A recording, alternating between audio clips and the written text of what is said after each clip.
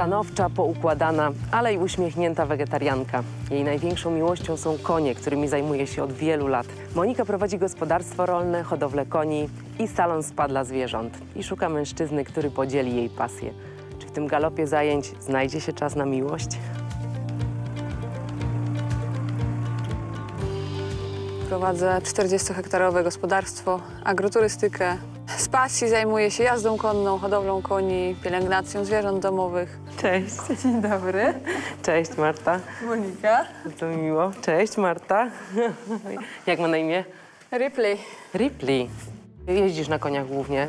Y, Wiem, że dużo zawodów też. Tak, y, hoduję, hoduję, trenuję te konie i później sprzedaję ewentualnie. Ale to są konie, psy. Ty w ogóle dorastałaś ze zwierzętami. Kozy. Słyszałam piękne Tak. historie, jak jako dziewczynka je przytulałaś, Też- żeby też je ogrzać. Kuski, tak. No i jeszcze chciałabym bardzo poznać Halinę, bo o niej słyszałam wiele historii. Świnka, która jest no, dość nieśmiała przy obcych osobach.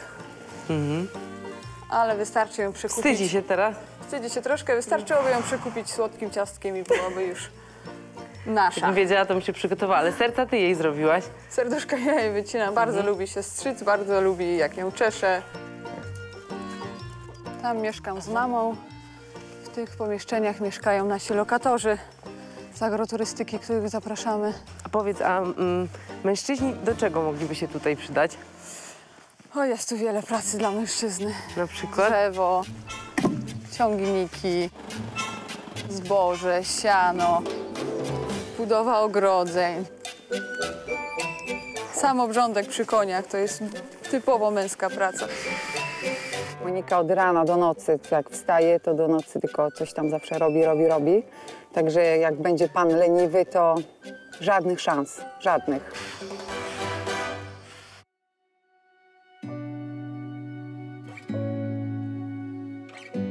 Nie spotkałam nikogo chyba jeszcze na swojej drodze takiego, któremu byłabym skłonna się poświęcić i swoją pracę, i swoje pasje, i swoje życie na tyle mocno, żeby nie robić tych rzeczy, które uwielbiam. A on ma szansę być dla ciebie ważniejszy niż zwierzęta.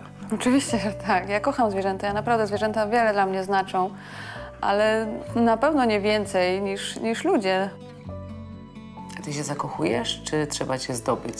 Mnie się zdobywa. Taki mężczyzna no, no, tak y, na pewno będzie musiał troszkę wykazać się tym talentem myśliwskim i spróbować mnie podejść i skruszyć odrobinę.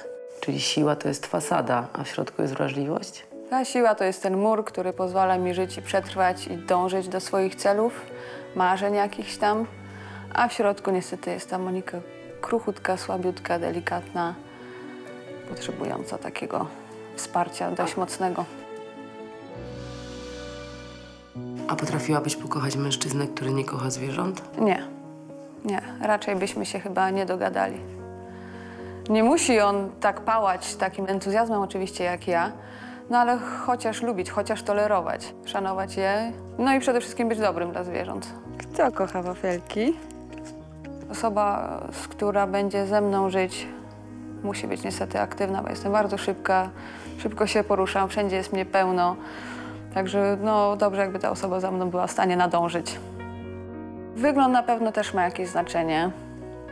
To, jak dba o siebie, o swoje ciało. Każda mama by sobie życzyła tego, żeby nie była sama, bo wiadomo, w tej chwili to tylko zwierzęta.